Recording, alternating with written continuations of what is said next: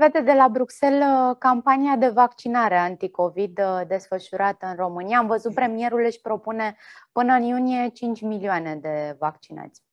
Cum se vede la Bruxelles? Nu știu dacă va ajunge la 5 milioane complet vaccinați, adică cu ambele doze. Pentru că atunci este vaccinarea completă, când sunt făcute ambele Corect. doze.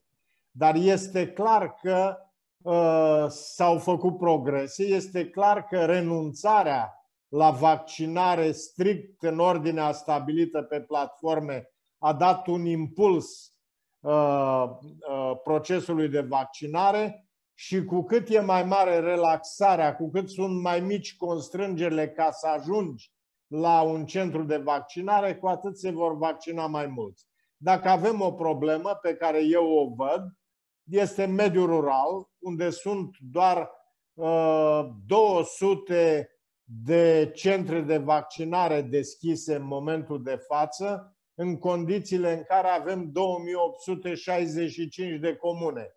Deci aici probabil că vor trebui organizate caravane de vaccinare.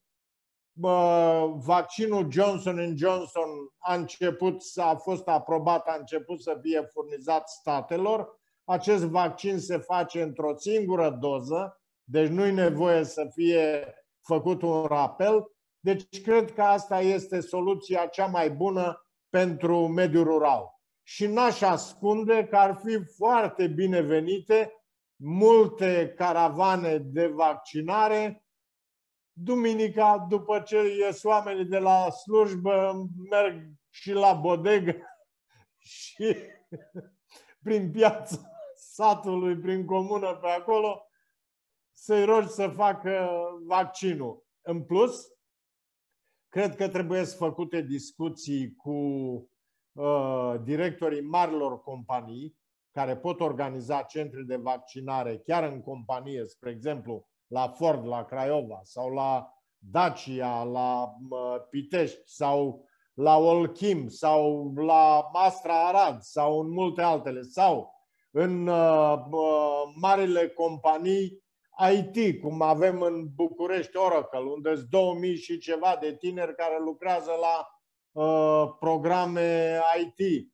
Uh, asta ar mai fi o soluție, la fel cum uh, guvernul a găsit înțelegere cu biserica anul acesta, sunt convins că pot găsi înțelegere și cu directorii pentru organizarea acestor centre, uh, pentru că altfel sunt convins că toți conducătorii de companie ar vrea să știe salariații vaccinați.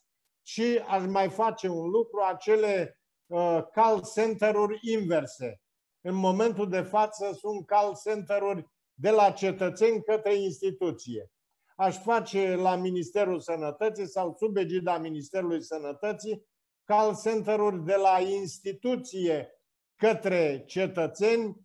Domnul X, nu v-ați vaccinat, n-ați vrea să mergeți la vaccinare, uite, aveți un centru de vaccinare foarte apropiat de dumneavoastră, avem Uh, doze Pfizer, doze Johnson Johnson sau Moderna sau AstraZeneca, vă rugăm să mergeți să vă vaccinați spre binele dumneavoastră.